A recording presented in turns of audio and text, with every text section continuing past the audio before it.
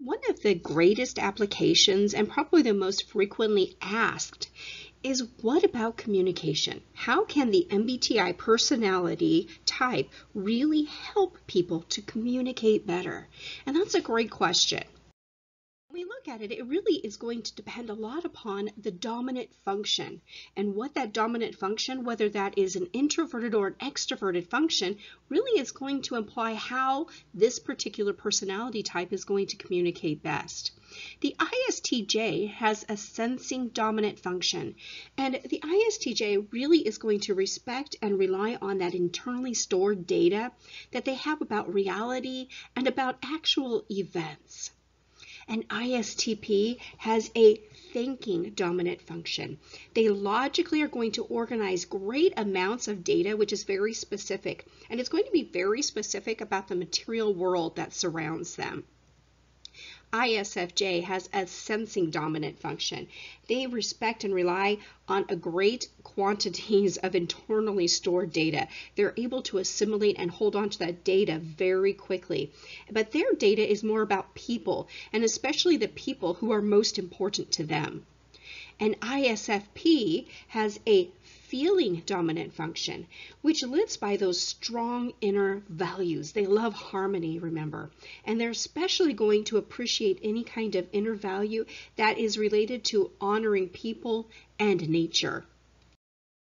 Moving on to our introverted intuition personalities, we can see that they have different dominant functions as well. An INTJ focuses more on that intuition as their dominant function.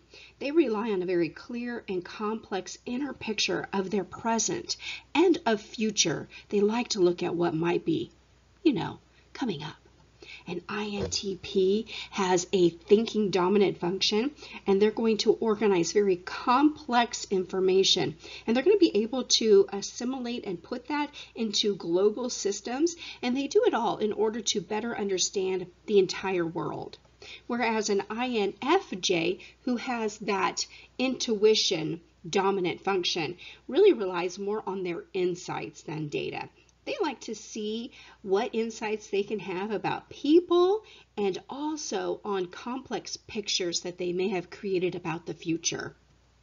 An INFP has a very dominant feeling function, and they're able to and will filter everything through their core. And this core consists of very deep personal values. And these values are most important to them when they honor individuals. Moving on to our extroverted intuition, remember that these are people who are going to communicate more verbally and they're going to need more time to be able to process verbally. The ENTJ is a thinking dominant function. They like to really direct others decisive. These are great supervisors and natural leaders. They structure the environment in order to achieve all of their long-term goals.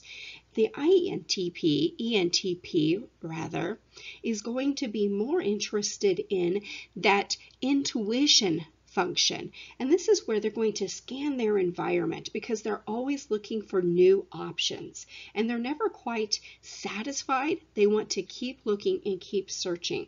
They love anything that's new and stimulating and especially exciting possibilities the ENFJ is very interested and relies upon that feeling dominant function, where they provide a structure and encouragement, all in order to motivate and energize individual growth for the people who are around them.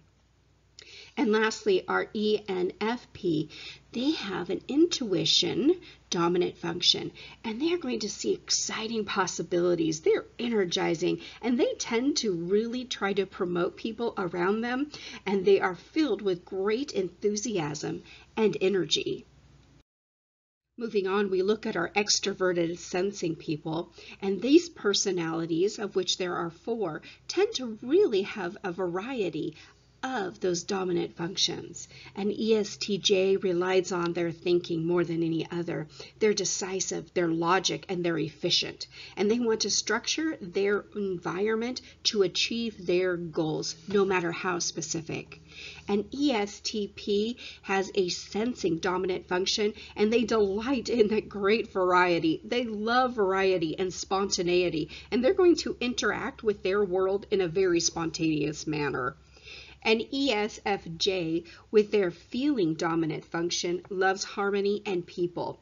And they're going to act decisively to create an environment that is going to care for the practical needs of the people who are around them. And an ESFP with their sensing dominant function loves interaction. They love stimulation with others, and they're going to embrace a variety of experiences that are related to their sensing dominant function.